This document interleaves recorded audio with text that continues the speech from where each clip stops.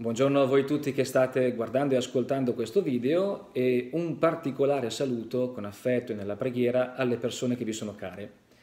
Oggi la liturgia ci propone il brano del Vangelo del capitolo quinto di San Giovanni, versetti dal 31 al 47, che vi invito a leggere se potete, così che abbiate un diretto contatto con la scrittura e non solamente attraverso la mia mediazione.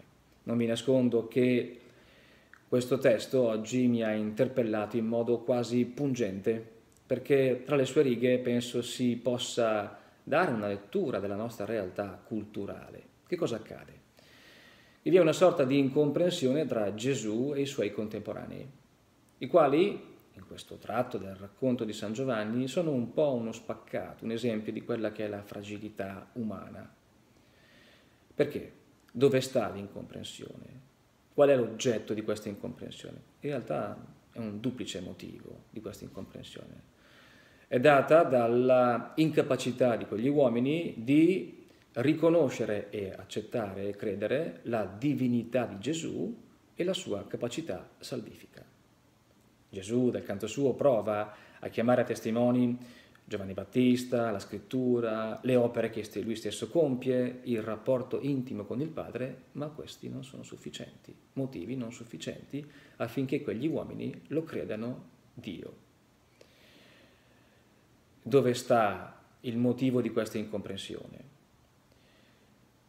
Per poterlo capire bisogna che andiamo a cogliere quello che credo si possa definire il male radicale della natura umana che è dato dalla volontà o dal tentativo di cercare la verità della nostra esistenza solo nella nostra identità, cioè nel tentativo di eh, credere esaustiva la nostra identità, quello che siamo, per cercare di capire chi siamo e dove siamo destinati.